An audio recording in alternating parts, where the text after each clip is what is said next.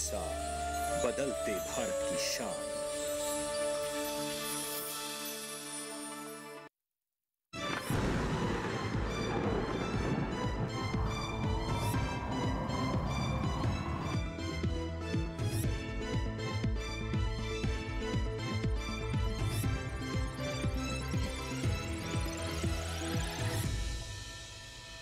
नमस्कार। मौसम खबर में आपका स्वागत है। आपके साथ मैं हूँ अंजू सिंह। मौसम खबर में जानेंगे अगले 24 से 48 घंटों में कैसा रहेगा मौसम का हाल। कहाँ होगी बारिश, कहाँ चलेंगी तेज हवाएँ, कैसी रहेगी तापमान की स्थिति? लेकिन शुरुआत करते हैं मौसम से जुड़ी पाँच बड़ी खबरों के साथ। तो चलिए नज़र डालते हैं इन पाँच बड़ी खबरों पर। सबसे पहले जो बड़ी खबर आ रही है, वो जम्मू कश्मीर से आ रही है। इसके बारे में आपको बता दें कि अगले दो दिनों में कहीं कहीं भारी बारिश और बर्फबारी के साथ साथ ओलावृष्टि होने की संभावना है। हिमाचल प्रदेश में भी कुछ ऐसे ही हालात रहेंगे। अगले दो दिन कुछ जगहों पर यहाँ भी भारी बारिश और बर्फबारी के साथ ओलावृष्टि हो सकती है। तीसरी जो महत्वपूर्ण खबर है, वो गांगे पश्चिम बंगाल से जुड़ी हुई है। दो दिन कुछ इलाकों में यहाँ पर चल सकते हैं, काफ़ी गर्म हवाएँ, यानी यहाँ पर हीट वेव्स चल सकती हैं। पंजाब पर नज़र डालें तो पंजाब में भी कल कहीं कहीं गर्म हवाएँ चलने की संभावना है। और ऐसे में सावधान रहे, बहुत ज़रूरी ना हो तब तक घर से बाहर धूप में ना निकले। तटीय आंध्र प्रदेश की बात कर लेते हैं, दो दिन कुछ हिस्सों में यहाँ भी चल सकती हैं गर्म हवाएँ। तो ये थी मौसम से जुड़ी पाँच बड़ी खबरें। आइए बात करते हैं मौसम अलर्ट के बारे में, यानी किन किन क्षेत्रों को लेकर किस तरह की चेतावनी भारत मौसम विज्ञान विभाग की तरफ़ से जारी की गई है। पूरा मैप देख सकते हैं, जो क्षेत्र आप यहाँ पर हरे रंग में देख रहे हैं, इनको लेकर फ़िलहाल किसी तरह की चेतावनी नहीं है, लेकिन जो रंग, जो क्षेत्र आप पीले रंग में देख रहे हैं, वहाँ नज़र बनाए रखने की ज़रूरत है। और जहाँ पर आप नारंगी रंग देख रहे हैं, वहाँ पर सावधान रहने की ज़रूरत है। तो चलिए शुरुआत करते हैं। हिमाचल प्रदेश से, जहाँ सावधान रहने की ज़रूरत है, क्योंकि गरज चमक के साथ भारी बर्फबारी हो सकती है। इसके साथ ही ओलावृष्टि यहाँ पर होने की संभावना है। जम्मू कश्मीर लद्दाख की बात करें तो यहाँ भी बर्फबारी के साथ ओलावृष्टि हो सकती है और काफ़ी तेज़ हवाएँ भी चल सकती हैं। इसी तरीके से अगर हम बात करें पंजाब, हरियाणा और साथ ही साथ राजस्थान की, पश्चिम मध्य प्रदेश की तो यहाँ पर काफ़ी गर्म हवाएँ चलने की संभावना अगले चौबीस से अड़तालीस घंटों में। इसी तरह आगे हम गांगे पश्चिम बंगाल की बात करें तो यहाँ भी हीट वेव की चेतावनी है। काफ़ी गर्म हवाएँ यहाँ भी चल सकती हैं। इसी तरीके से तटीय आंध्र प्रदेश में भी हीट वेव की चेतावनी है। अन्य क्षेत्र जो आप यहाँ पर देख रहे हैं, जिसमें केरल भीति उत्तर कर्नाटक, मध्य महाराष्ट्र, मराठवाड़ा, विदर्भ और पश्चिमी मध्य प्रदेश शामिल है। यहाँ पर भी काफ़ी तेज हवाएँ चल सकती हैं और कुछ क्षेत्रों में काफ़ी गर्म हवाएँ चलने की भी चेतावनी है। अन्य क्षेत्र जिसमें आप पूर्वोत्तर के ज़्यादा राज्य देख रहे हैं, हरे रंग में, वहाँ को लेकर फ़िलहाल कोई अलर्ट नहीं है। अब बात करते हैं मौसम पूर्वानुमान की, जिसमें हम आपको बारिश के बारे में बताते हैं। देश के किन किन क्षेत्रों में अगले चौबीस से अड़तालीस घंटों में बारिश होने की संभावना है। जम्मू कश्मीर, लद्दाख और हिमाचल प्रदेश, जैसा कि हमने हिमाचल प्रदेश के बारे में आपको बताया था कि रेड अलर्ट भी है यहाँ को लेकर। नारंगी अलर्ट यहाँ पर जारी किया गया है क्योंकि काफ़ी तेज़ हवाएँ चल सकती हैं।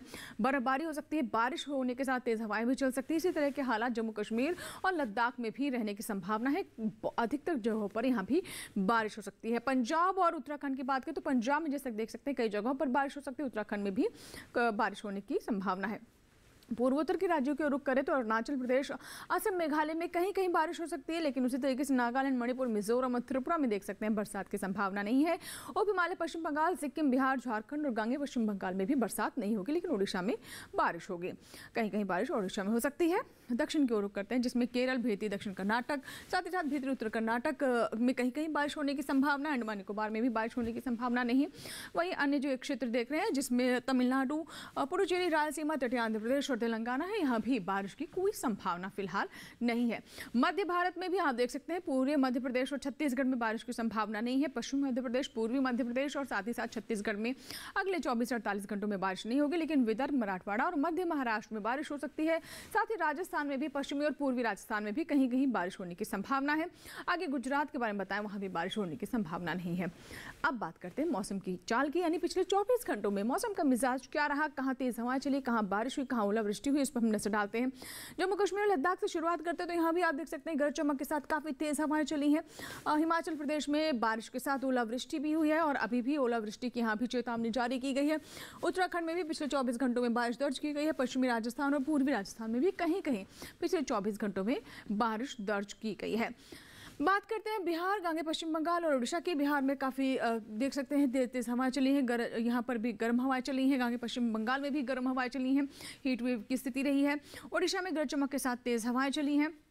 तो उड़ीसा के बारे में हम आपको बता रहे हैं और अब रुक करते हैं तमिलनाडु और केरल और साथ ही साथ अगर हम तटीय आंध्र प्रदेश और भीतरी उत्तर कर्नाटक पर भी नज़र डालें तो तटीय आंध्र प्रदेश में आप देख रहे हैं कि कहीं कहीं यहाँ बारिश हुई है, लेकिन कुछ क्षेत्रों में यहाँ भी काफ़ी गर्म हवाएँ चली हैं। इसी तरीके से तमिलनाडु में भी कहीं कहीं बारिश हुई है, केरल में भी कुछ क्षेत्रों में बारिश दर्ज की गई है और भीतरी उत्तर कर्नाटक में भी कहीं कहीं बारिश रही है। मध्य भारत की ओर रुक करें तो आप देख सकते हैं कि पूर्वी और पश्चिमी मध्य प्रदेश में जहाँ कुछ क्षेत्रों में काफ़ी तेज़ हवाएँ चली हैं, गर्म हवाएँ चली हैं, वहीं कहीं कहीं चमक के साथ यहाँ बौछारें भी पड़ी हैं। आगे हम आपको बताते हैं मध्य महाराष्ट्र और मराठवाड़ा के बारे में भी। तो मराठवाड़ा में भी ओलावृष्टि हुई, मध्य महाराष्ट्र में भी गरज चमक के साथ ओलावृष्टि दर्ज की गई है। फ़िलहाल इसी के साथ ही मौसम खबर में यहाँ वक्त एक छोटी सी ब्रेक का कहीं मज़ा आएगा देखते रहें मौसम खबर।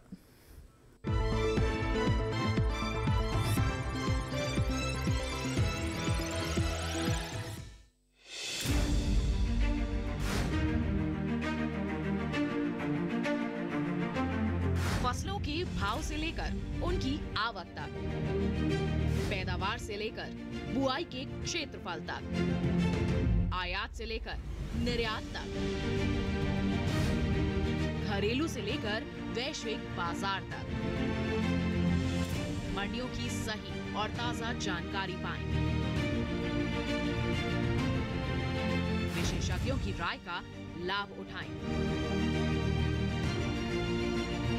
देखिए मंडी खबर। सोमवार से शनिवार शाम पाँच बजे सिर्फ़ दूरदर्शन के साथ पर।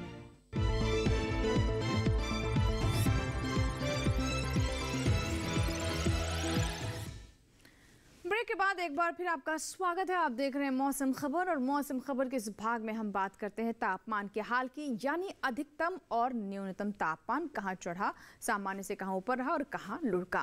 तापमान के हाल में हम शुरुआत करते हैं। जैसा कि आप जानते हैं कि अधिकतम तापमान के साथ हम शुरुआत करते हैं। तो जम्मू कश्मीर, लद्दाख और साथ ही साथ पंजाब की बात करें तो यहाँ देख सकते हैं कि अधिकतम तापमान सामान्य से पाँच डिग्री सेल्सियस अधिक दर्ज किया गया। ज़्यादा दर्ज किया गया जम्मू कश्मीर, लद्दाख और पंजाब में पाँच डिग्री सेल्सियस से सामान्य तौर पर जो तापमान, अधिकतम तापमान रहता है, उससे पाँच डिग्री सेल्सियस ऊपर रहा। आगे आपको बताते हैं पूर्वोत्तर के राज्यों के बारे में, जिसमें आप देख सकते हैं नागालैंड, मणिपुर, मिजोरम, त्रिपुरा। इसके अलावा अगर हम सिक्किम पर नज़र डालें, उप हिमालय, पश्चिम बंगाल पर तो यहाँ तीन दशमलव एक से पाँच डिग्री सेल्सियस के बीच में अधिकतम तापमान सामान्य से ज़्यादा रहा। इसमें बिहार और उड़ीसा भी शामिल हैं। नज़र डालते हैं, अब अरुणाचल प्रदेश, असम और मेघालय पर साथ ही गांगे पश्चिम बंगाल की बात करें तो यहाँ भी आप देख सकते हैं कि अधिकतम तापमान सामान्य से पाँच डिग्री सेल्सियस, यहाँ भी ज़्यादा ही दर्ज किया गया है, यानी सामान्य से यहाँ भी अधिकतम तापमान ऊपर दर्ज किया गया है। अब आपको बताते हैं सिलसिलेवार तरीके से हिमाचल प्रदेश, हरियाणा, पश्चिमी उत्तर प्रदेश, पूर्वी उत्तर प्रदेश, पश्चिमी मध्य प्रदेश और पश्चिमी राजस्थान, इन सभी क्षेत्रों में तीन दशमलव एक से पाँच डिग्री सेल्सियस की रेंज में जो अधिकतम तापमान है, वो सामान्य से ऊपर आए, सामान्य से ज़्यादा दर्ज किया गया है। पश्चिमी राजस्थान और साथ ही साथ इसमें उत्तर प्रदेश भी शामिल है। विदर्भ पर नज़र डाल लेते हैं तो विदर्भ में देख सकते हैं कि आप तापमान गिरा है, तापमान में गिरावट दर्ज की गई है। सामान्य से यहाँ पर पाँच डिग्री सेल्सियस विदर्भ में तापमान कम दर्ज किया गया है। सबसे अधिक तापमान की बात करें तो देख सकते हैं आप, पूर्वी उत्तर प्रदेश के प्रयागराज में चवालीस दशमलव दो डिग्री सेल्सियस तापमान दर्ज किया गया है। अधिकतम तापमान के बाद आइए हम नज़र डालते हैं न्यूनतम तापमान पर। तो पूर्वी उत्तर प्रदेश से शुरुआत करते हैं। देख सकते हैं आप, यहाँ पर न्यूनतम तापमान भी एक दशमलव छः से तीन डिग्री सेल्सियस के बीच में ज़्यादा रहा है, जिसमें पूर्वी उत्तर प्रदेश और ओडिशा शामिल शामिल एक दशमलव छः से तीन डिग्री सेल्सियस के बीच में न्यूनतम तापमान सामान्य से अधिक रहा है। पूर्वोत्तर में अरुणाचल प्रदेश, वहीं गांगे पश्चिम बंगाल और अगर हम छत्तीसगढ़ की बात करें, यानी मध्य भारत के आसपास के जो राज्य हैं, वहाँ पर आप देख सकते हैं कि तीन दशमलव एक से पाँच डिग्री सेल्सियस के बीच में यहाँ भी न्यूनतम तापमान सामान्य से ज़्यादा रहा है। पश्चिमी मध्य प्रदेश और विदर्भ में तीन दशमलव एक से पाँच डिग्री सेल्सियस के बीच में न्यूनतम तापमान कम दर्ज किया गया, यानी सामान्य से यहाँ पर पारा लुढ़का है। नज़र डालते हैं कैसी स्थिति रही है पूर्वी मध्य प्रदेश और मध्य महाराष्ट्र। इसके अलावा मराठवाड़ा में तो देख सकते हैं कि यहाँ भी न्यूनतम तापमान एक दशमलव छः से तीन डिग्री सेल्सियस के बीच में कम ही दर्ज किया गया है, यानी न्यूनतम तापमान में यहाँ पर गिरावट रही है। अब आपको बताते हैं पश्चिमी राजस्थान के बारे में। तो पश्चिमी राजस्थान में भी न्यूनतम तापमान तीन दशमलव एक से पाँच डिग्री सेल्सियस के बीच में ज़्यादा दर्ज किया गया है। यहाँ पर भी आप देख रहे हैं न्यूनतम तापमान बढ़ा है। उत्तराखंड के पंतनगर में सबसे कम तापमान सत्रह दशमलव छः डिग्री सेल्सियस तापमान दर्ज किया गया है। तो ये तो बात हुई अधिकतम और न्यूनतम तापमान की। अब नज़र डालते हैं देश के अन्य राज्यों में कैसा रहा अधिकतम और न्यूनतम तापमान का हाल।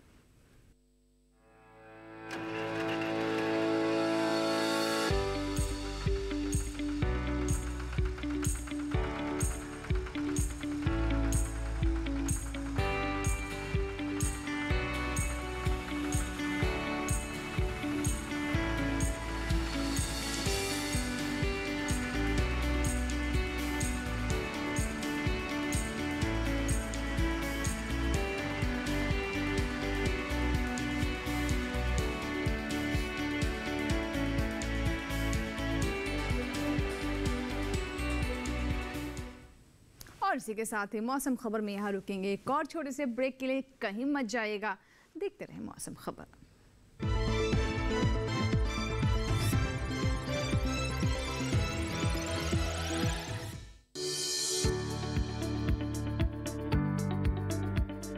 कृषि और पशुपालन है एक दूसरे के पूरक। घर आँगन से लेकर व्यावसायिक फार्म तक। मुर्गी पालन से लेकर रेगिस्तान के जहाज़ तक। बीमारियों से अब पशुपालक ना हो परेशान। विशेषज्ञ करेंगे आपकी समस्या का समाधान।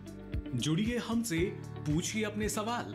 ईमेल के ज़रिए भी आप हमारे साथ जुड़ सकते हैं। हमारी ईमेल आईडी है D D Kisan APC at the rate Gmail dot com हमारे टोल फ्री नंबर हैं एक आठ शून्य शून्य, एक एक तीन शून्य छः शून्य और एक आठ शून्य शून्य, एक एक तीन शून्य छः एक।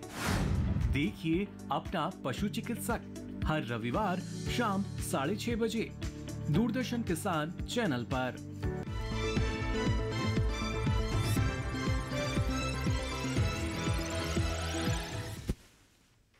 ब्रेक के बाद एक बार फिर आपका स्वागत है। आप देख रहे हैं मौसम खबर। और आइए मौसम खबर में अब बात करते हैं एयर क्वालिटी की, यानी वायु गुणवत्ता की। देश के जो प्रमुख शहर हैं, वहाँ की एयर क्वालिटी कैसी है? तो सिलसिलेवार तरीके से शुरुआत करते हैं और हमेशा की तरह राजधानी दिल्ली पर सबसे पहले हम नज़र डालते हैं तो आप देख सकते हैं कि पहले से बेहतर है क्वालिटी यहाँ पर एक सौ अट्ठासी है, जो कि फ़िलहाल संतोषजनक श्रेणी में है। पुणे की बात करें तो यहाँ आप देख रहे हैं एक सौ साठ है, जो कि काफ़ी समय से संतोषजनक श्रेणी में ही यहाँ की वायु गुणवत्ता बनी हुई है। आगे हम पटना की बात करें तो आप देख सकते हैं कि दो सौ उनसठ है, जो कि फ़िलहाल थोड़ी ख़राब है। हालाँकि पटना की वायु गुणवत्ता में भी थोड़ा सुधार हुआ था, लेकिन एक बार फिर से बिगड़ गई है। बेंगलुरु में आप देख सकते हैं कि संतोषजनक श्रेणी में है। हालाँकि सौ से सिर्फ़ छः पॉइंट ही ऊपर है। हैदराबाद में 110 है वायु गुणवत्ता, और ये भी संतोषजनक श्रेणी में है।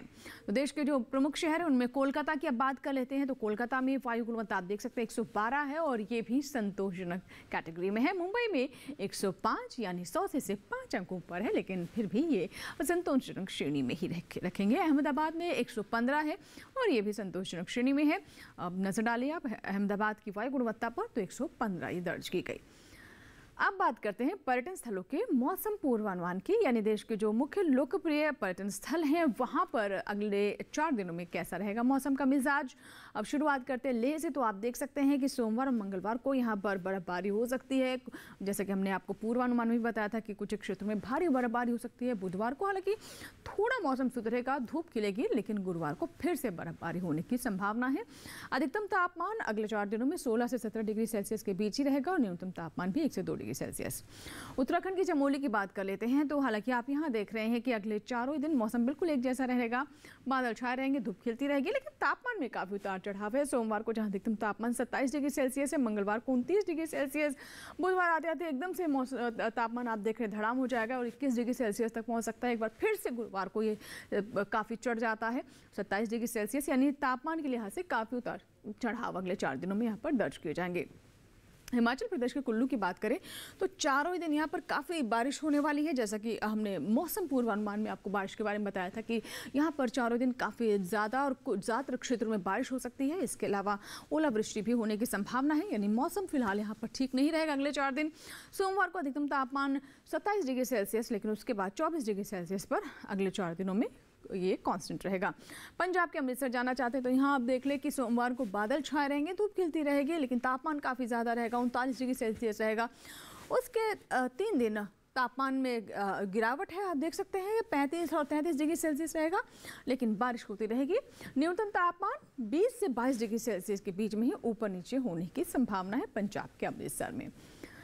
राजस्थान के जयपुर की बात कर लेते हैं। तो चारों दिन यहाँ पर धूप छाँव का खेल चलता रहेगा, जहाँ कुछ क्षेत्र में धूप रहेगी, वहीं बादल भी छाए रह सकते हैं।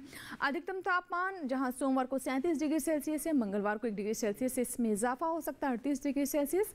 बुधवार को फिर से सैंतीस डिग्री सेल्सियस और गुरुवार आते आते एक डिग्री सेल्सियस, इसमें फिर से गिरावट। न्यूनतम तापमान 21 से 23 डिग्री सेल्सियस के बीच में ही रहने की संभावना है। अरुणाचल प्रदेश के तवांग की बात कर लेते हैं तो सोमवार को यहाँ पर आप देख सकते हैं बादल छाए रहेंगे। मंगलवार, बुधवार, गुरुवार को बारिश होती रहेगी और इसके साथ ही अधिकतम तापमान पहले दो दिन जहाँ 20 डिग्री सेल्सियस है, उसके बाद 18 डिग्री सेल्सियस यहाँ पर तापमान रहने की संभावना है। न्यूनतम तापमान सात से आठ डिग्री सेल्सियस, यानी ज़्यादा यहाँ पर उतार चढ़ाव फ़िलहाल होता हुआ नज़र नहीं आ रहा है। चार में से तीन दिन यहाँ पर बारिश ही होती रहेगी। अब बात करते हैं त्रिपुरा के अगरतला की। तो आप यहाँ पर देख रहे हैं कि चारों दिन यहाँ पर फॉगर मिस्ट रहेगा। अधिकतम तापमान जहाँ नज़र डालें सोमवार पर तो उनतालीस डिग्री सेल्सियस है। उसके बाद अड़तीस और गुरुवार आते आते सैंतीस डिग्री सेल्सियस। न्यूनतम तापमान चौबीस से पच्चीस डिग्री सेल्सियस ही अगले चार दिनों में यहाँ पर रहने की संभावना है। तो ये स्थिति है अगरतला की।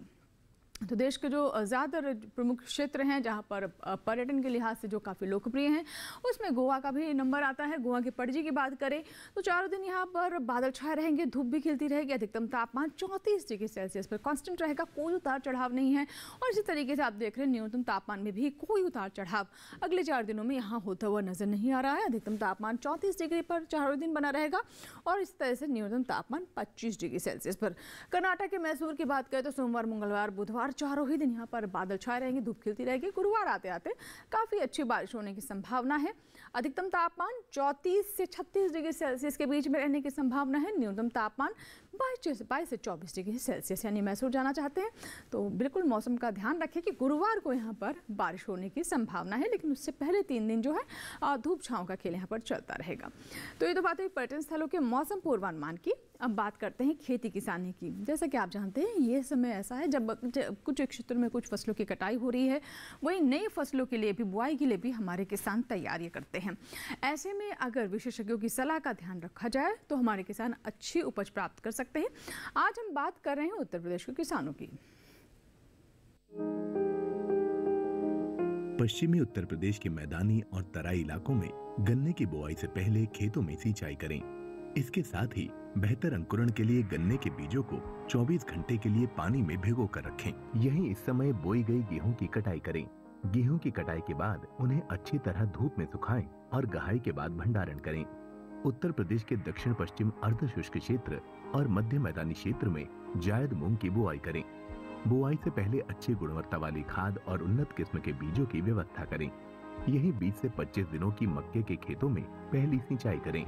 इसके साथ ही यहाँ मक्का और उड़द के खेतों से खरपतवार साफ़ करें। उत्तर प्रदेश के दक्षिण पश्चिम अर्ध शुष्क क्षेत्र और मध्य मैदानी इलाके में ही सुबह के समय गेहूँ और काबुली चने की कटाई करें। यही प्याज के अलावा आम अमरूद, नींबू, पपीता के बागों में 10 से 12 दिनों के अंतराल पर शाम के समय सिंचाई करें। बुंदेलखंड में किसान इस महीने जिमीकंद, अदरक और हल्दी की बुआई का काम पूरा कर लें। यही इस समय किसान मूली की उन्नत किस्मों की बुआई कर सकते हैं। इसके अलावा यहाँ गेहूँ, चना, मटर, मसूर, सरसों और अलसी की जल्द से जल्द कटाई करें। उत्तर प्रदेश के उत्तर पूर्वी मैदानी इलाकों में खेतों में नमी का ध्यान रखते हुए मूंग की बुआई कर लें।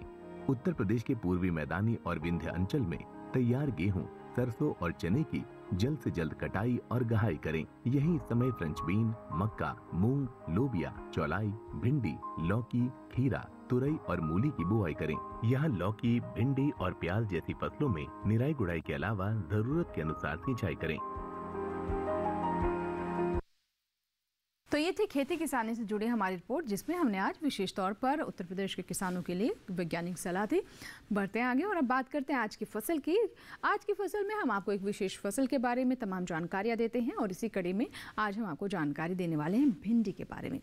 अगर आप भिंडी की फ़सल लेना चाहते हैं तो उसके लिए उपयुक्त समय है। ऐसे में कौन सी अच्छी किस्मों का आप चुनाव कर सकते हैं? खेत की तैयारी कैसे करें? आई जानते हैं इस रिपोर्ट में। ये मौसम भिंडी की बुआई के लिए अनुकूल है।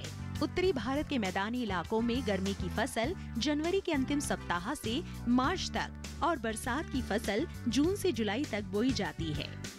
एक हेक्टेयर में भिंडी की बुआई के लिए 18 से 22 किलो बीज पर्याप्त है। भिंडी की बुआई करने से पहले खेतों को जोत कर तैयार कर ले। खरपतवार को साफ़ कर ले। बुआई करते समय कतार से कतार की दूरी 30 सेंटीमीटर और पौध से पौध की दूरी 13 से 15 सेंटीमीटर रखें। किसान भिंडी की कई किस्मों की बुआई कर सकते हैं, जैसे पूसा मखमली, पूसा सावनी, लाल भिंडी और आई एच आर इकतीस आदि। पूसा मखमली किस्म की भिंडी की लंबाई 6 से 8 इंच तक होती है। ये भिंडी लंबी, सीधी, चिकनी और हरे रंग की होती है। पूसा सावनी किस्म की भिंडी की लंबाई 10 से 15 सेंटीमीटर होती है। ये लंबी, पतली, नरम चिकनी और गहरे हरे रंग की होती है। पूसा सावनी किस्म की एक हेक्टेयर में 80 से 100 क्विंटल तक पैदावार ली जा सकती है। लाल भिंडी लंबी, सीधी और गुदेदार होती है, जबकि आई एच आर इकतीस किस्म की भिंडी की लंबाई 24 सेंटीमीटर तक होती है। ये मोटे गुदे वाली और हल्के हरे रंग की होती है। अगर बात सिंचाई की करे तो बुआई के तुरंत बाद फ़सल में पहली सिंचाई करे और फिर दूसरी और तीसरी सिंचाई तीन से चार दिन के अंतराल पर करे फ़सल की अच्छी बढ़वार के लिए खेतों में समय समय पर निराई गुड़ाई करते रहें। तो ये थी हमारी आज की फ़सल, जिसमें हमने आपको भिंडी की तमाम किस्मों के बारे में जानकारी दी, कैसे खेत की तैयारी की जाए, ये भी बताया और चलते चलते आपको ये भी जानकारी दे दें कि आप मौसम खबर हमारे यूट्यूब चैनल पर भी देख सकते हैं। इसके लिए टेलीविज़न स्क्रीन पर दिखाए जा रहे हैं। इस क्यू आर कोड को स्कैन करें या फिर at the rate D Kisan channel, जो कि हमारा यूट्यूब आई है, इसे भी यूट्यूब पर जाकर आप सर्च कर सकते हैं। यूट्यूब पर भी देखिए मौसम खबर, साथ ही डी किसान पर प्रसारित होने वाले अन्य कार्यक्रम भी आप यूट्यूब पर देख सकते हैं। उम्मीद करते हैं मौसम खबर से हमारे किसानों को मदद हो रही होगी। मौसम का ताज़ा हाल और कृषि सलाह लेकर फिर होंगे हाजिर। आप बने रहें दूरदर्शन किसान के साथ। नमस्कार।